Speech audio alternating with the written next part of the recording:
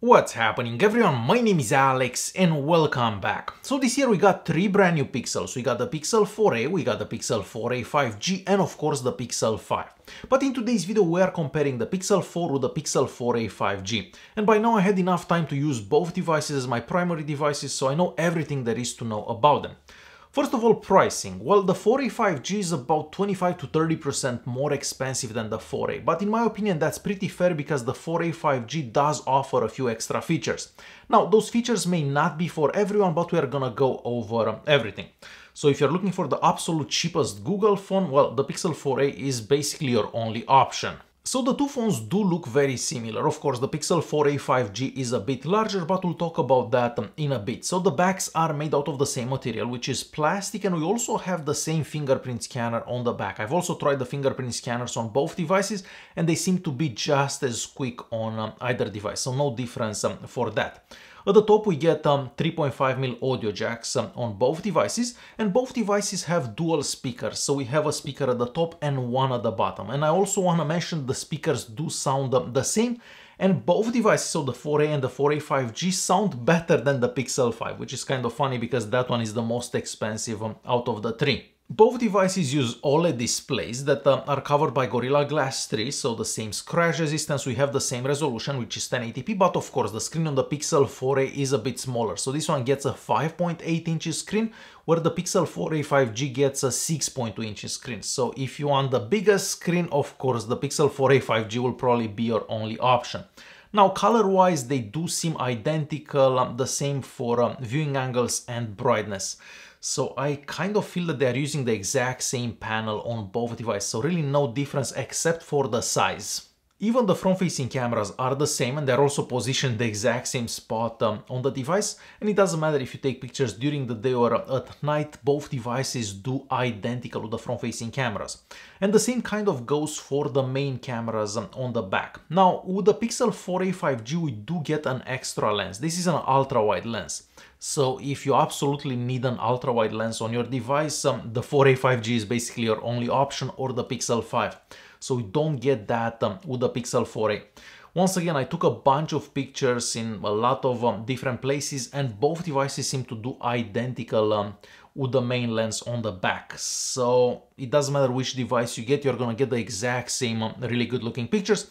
And I've done a bunch of camera comparisons with these devices as well. So I will leave some links in the video's description just in case um, you wanna check any of those out. Now, there is a, a difference that I've noticed um, whenever you're recording video with the Pixel 4a 5G and of course um, the Pixel 4a. So the video quality seems to be a bit better from the Pixel 4a 5G. Also, the videos are a bit sharper and the colors are a bit more um, vibrant and um, the wind reduction is also better um, from the Pixel 4a 5G.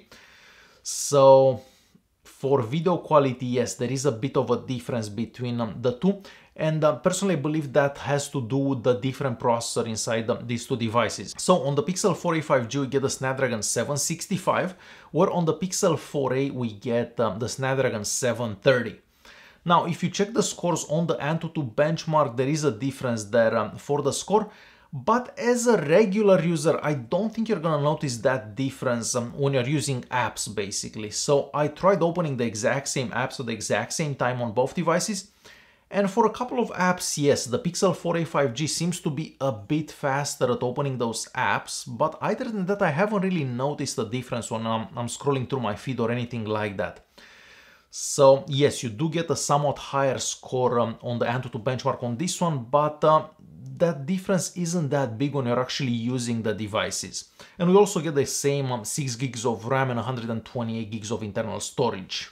And with the Pixel 4a 5G, you also get four new levels of image stabilization whenever you're um, recording video. And uh, once again, I believe that has to do the new processor that we have inside the, the Pixel 4a 5G and also 4K at 60 frame uh, per second recording, something that we don't get um, with the Pixel 4a.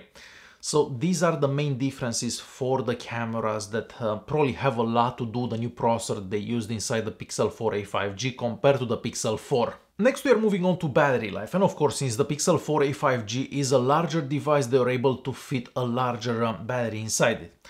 Now, battery life um, with the Pixel 4a 5G I can get just over 9 hours of screen on time, where um, with the Pixel 4a I can typically get between 7 hours to 8 hours of screen on time. So if you're looking for the device that gets the best battery life, I feel that there is uh, no comparison. The Pixel 4a 5G will do really good. But considering the size of this on the 4a, uh, I think 7 hours of screen on time is really, really good and still better than a lot of other devices available on the market.